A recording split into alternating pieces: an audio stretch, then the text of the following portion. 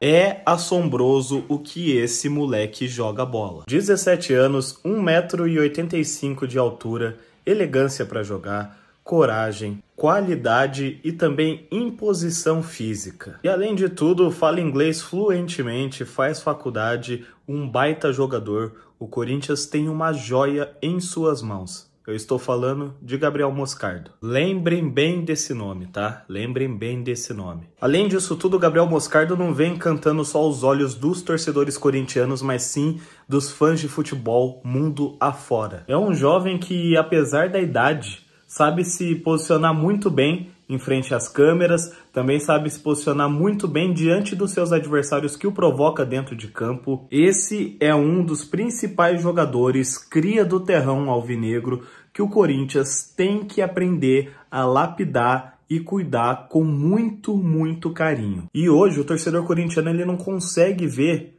11 jogadores em campo e desses 11, um deles não ser Gabriel Moscardo.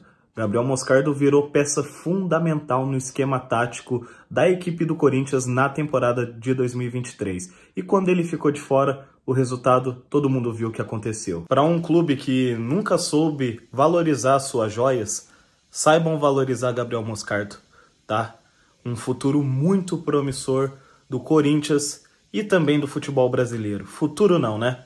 Já é presente. Então, Corinthians, valorize esse menino porque não existe volantes hoje no Brasil que joguem como Gabriel Moscardo, que tem apenas 17 anos.